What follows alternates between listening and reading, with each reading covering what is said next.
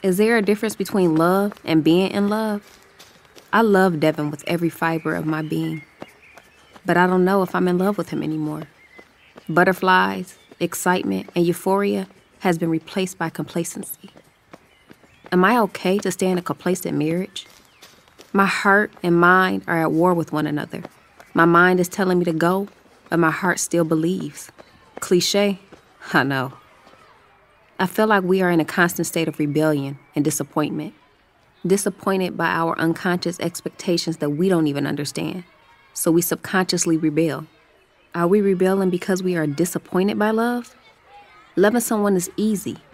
Staying in love is hard. It's time I choose between a comfortable spouse and a complacent spouse. I choose Switzerland. Switzerland. XO, XO.